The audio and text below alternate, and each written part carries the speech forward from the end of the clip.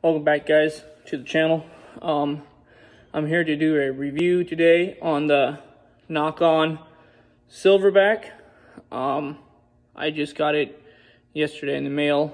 I got it off Facebook, traded my sweet spot, no, uh, my Fulcrum Flex for this. And uh, I got a TruBall Sweet Spot Pro that I traded for a Too Smooth, so hopefully I'll have a review coming for that as well soon.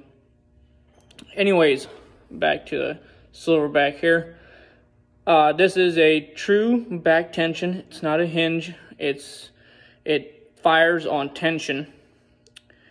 It's got a safety on it, so you pull down, see? That movement right there.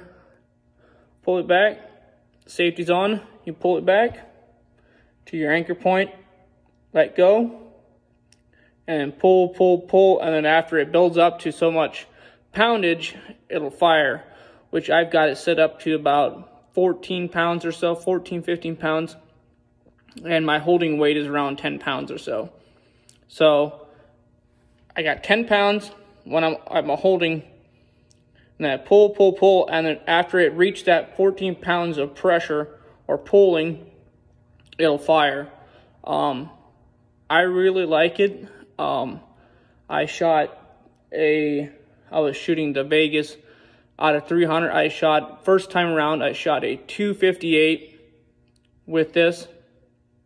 And then I switched over to my uh, Nock to it, and I shot my highest score yet at 284.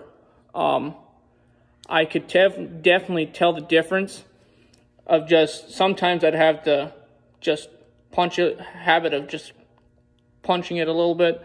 And here, you can't punch it. Nothing. You can't uh, anticipate a shot, I guess. Um, you just have to pull, pull, pull, and it goes off, it goes off.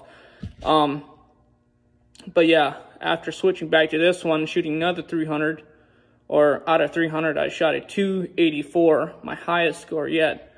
Um, I could definitely tell just relax and just pull, pull, pull, pull. And it, I improved my shooting a lot. I was around 270 or so. I bumped it up about 10.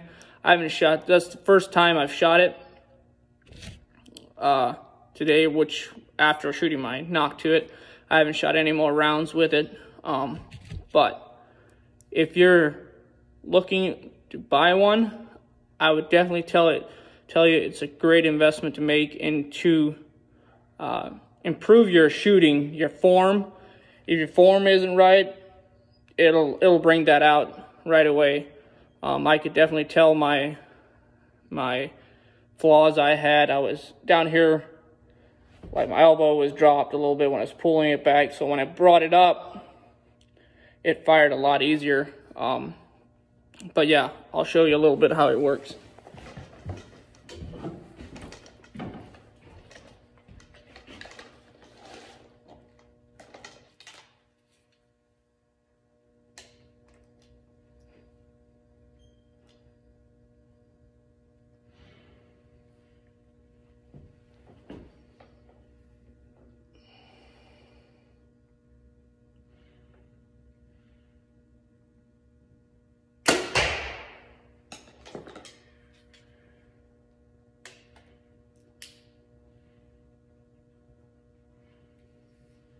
Got to pull the safety down to pull it back or else it'll go off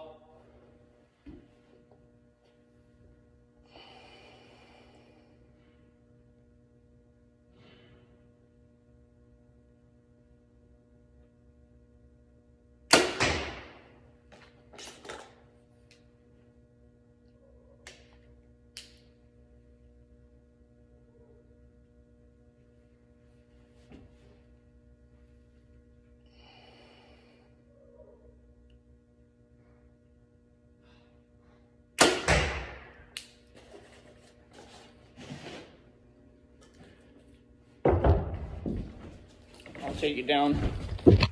Everything I'm shooting is a little to the right because I have it sighted in for my knock to it. Uh, John Dudley says you can relatively get them close with the Too Smooth, the Silverback, and the knock to it, just gotta keep your, I'm not a professional shooter, so, I mean, my, my anchor point is a little inconsistent sometimes, and then just even just the holding weight, just pressure, bring it back and everything on the, on the string makes a difference. Um, right here, first round, I was shooting it right around here with the silverback, and right there, as you can see, and right around here, and then the knock to it, I was like right around here, as you can see right there, and right there with the knock to it. Um, so my shooting in, definitely in, increased, accuracy increased by just using the silverback and then going back to knock to it, and just using that uh, same form of just pulling it, pulling it back. Um, you're supposed to, that's how you're supposed to do it, but I mean, I sometimes I just go up and just go and I'd punch it a little bit and then I'd shoot a little high or a little left and it just frustrated me sometimes, but with the silverback, you can't do that. You just got to pull, pull, pull, pull, and yeah. So I didn't, I didn't even move the sight, uh, really, to bring it over, like to shoot to the left. I was shooting to the right of it. Um, but then I just left it back for where my Nock to it was. But yeah, if you're looking for or thinking about getting one, I would definitely recommend you to get one.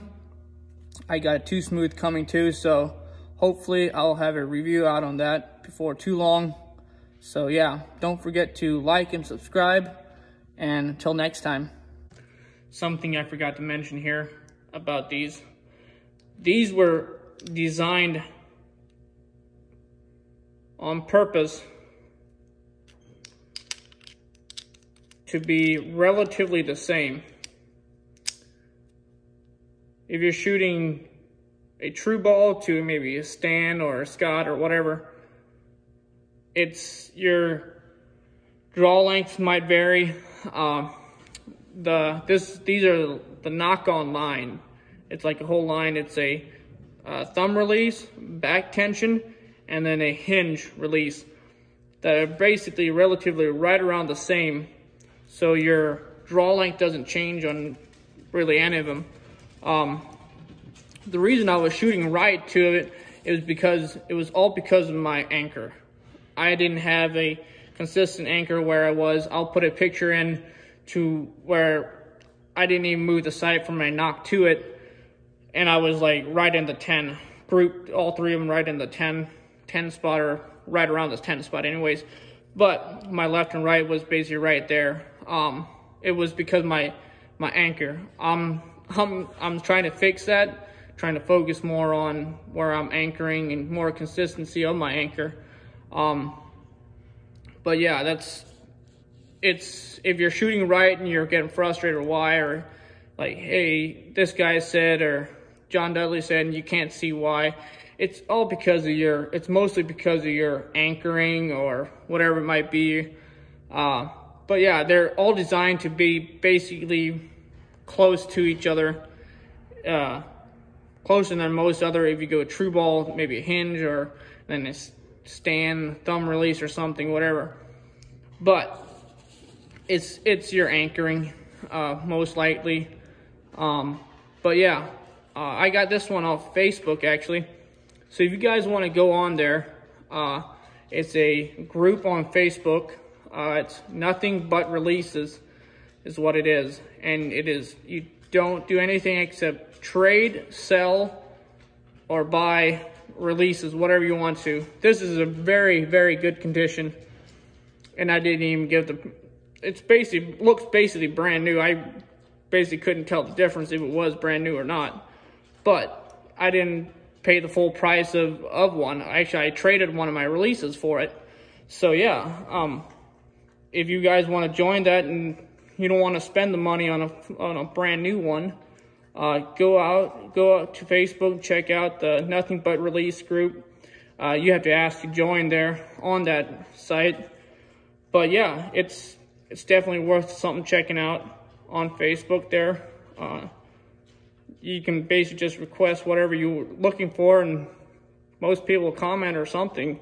there's most likely a release out there that someone is selling or trading or whatever that you're that you're looking for, but you don't have to buy a brand new one. So yeah, I would definitely recommend you doing that if you're not wanting to buy a new one. Uh, I know even some of the knock Noctuids, some people are selling it on there, trading whatever. And for the Nock On Archery website, most of the time it's it's out of stock or whatever. But yeah, just wanted to mention that.